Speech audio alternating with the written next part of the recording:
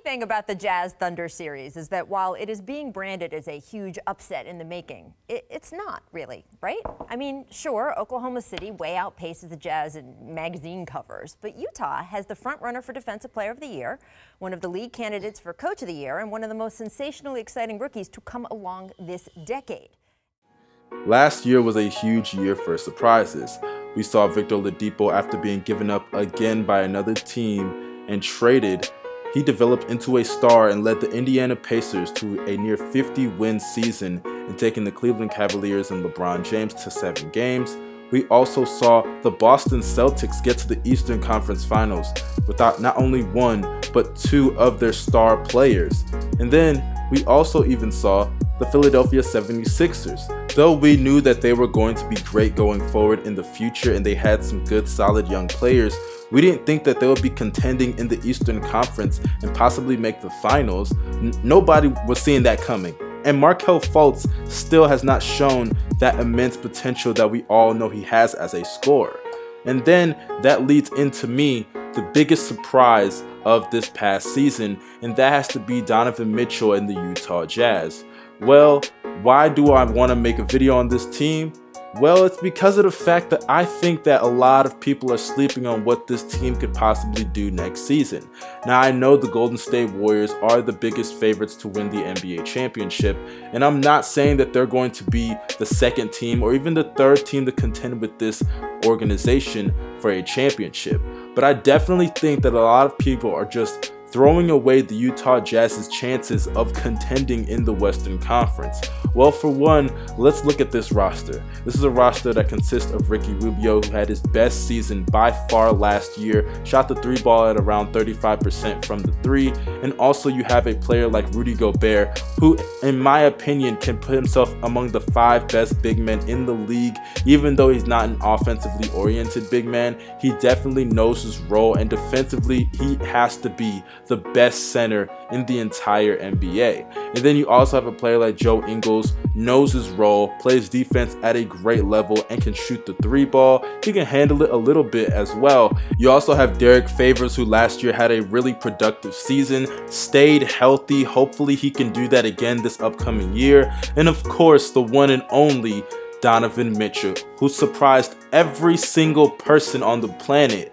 I mean, he was phenomenal from the moment he got the starting job up until the end of the season, balled out. And the thing is, for the first 20 games, he wasn't even really the first option, or at least they didn't really know what to do with him. But then when they really started giving him the keys to the offense, in my opinion, that started around the time I believe I would say 10 games before Rudy Gobert came back. And then when they found their footing, they just skyrocketed to the top of the NBA. And yes, you heard me correctly. I said skyrocketed to the top of the NBA because that is the thing that I think a lot of people are forgetting. The Utah Jazz last year, when it came to them winning and losing games, a lot of their losses came when they were suffering injuries to primarily Rudy Gobert. Because Rudy Gobert last season missed over 25 games, and in the games that he missed, they would go on to have a record of 11 and 15. That is below 500. But when Rudy Gobert came back, they would have one of the greatest stretches offensively that they have ever had over the past few seasons and defensively. As though they didn't finish among the top 10 or anything, they definitely were among the better half of the league. And defensively, it was not even a debate on who was the best defensive team in that time span as they were holding teams to under 100 points. And in that time span, let me just name some of the teams that they held to less than 100 points. Toronto, Houston, Portland, Boston, and yes, the Golden State Warriors as well. Not once, not twice, but on three separate occasions. And on those three separate occasions, they beat that team by nearly over 20 points each and every single time. And they held them by less than 100 points each and every single time. This is a team that is not to be laughed at. And when it went to the playoffs, that upset the Oklahoma City Thunder, a team that had two All-Stars, a supplementary piece in Carmelo Anthony, one of the greatest offensive rebounders in NBA history in Steven Adams. They beat that team in less than 7 games, and when they beat them, they would go on to challenge the Houston Rockets and though they would fall in 5 games, they went further this past season than any single person could have predicted. And before I wrap this video up, I gotta give a shout out to Quin Snyder because Quin Snyder definitely deserves a lot of props for what he did with this organization.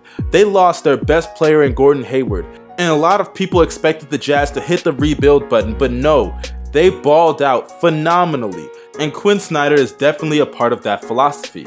So now that you know that Rudy Gobert was injured, now that you know that Donovan Mitchell wasn't given the keys to the team until about 20 games in, now that you know what this team can do with Rudy Gobert and all their pieces healthy, now that you've seen what they did in the playoffs against OKC, now that you've seen Donovan Mitchell's rookie year and you know he's only going to get better, now that you know that Quin Snyder is a phenomenal coach and is possibly going to win the coach of the year next season, now that you know all that, do you still want to sleep on the Utah Jazz?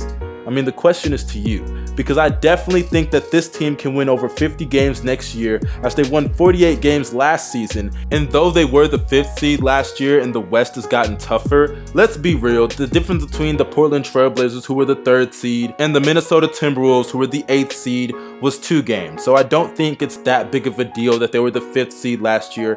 And yes, the West is tougher. A lot of the teams that got better, such as the Lakers and the Thunder, the Lakers got to learn how to play together and the Utah Jazz don't have that kind of problem because they're going into next season with the same players and they need some shooters. The Lakers definitely need some shooters. The spacing is going to be off a lot of times on the team. And then when you look at the Thunder, Russell Westbrook has still not proven that he can lead a team to anything that is worth any type of significance. So I don't even want to hear people say the Oklahoma City Thunder because Russ can get all the triple doubles that he wants. If he can't lead a team to wins and the difference between last season and this season is still going to be like one game, that doesn't matter to me. I don't want to hear people bring up the Thunder. So the only teams that I can definitively say are better than the Utah Jazz going into next season, that I can see them having a better record without question, are the Houston Rockets and the Golden State Warriors. So do not sleep on this Utah Jazz team. Rudy Gobert could possibly be an All-Star and an All-NBA player, and Donovan Mitchell he for sure is going to make that all-star team because he can lead this team to over 50 wins and be the third seed in the Western Conference and make it to the second round and possibly the Western Conference Finals, I think we're going to have to start having conversations on if Donovan Mitchell is a top 10 player in the NBA. Yeah, I went there. So you guys let me know in the comment section what you thought about this video.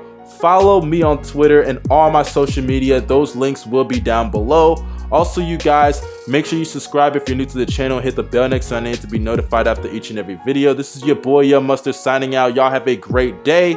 I'm out. Peace.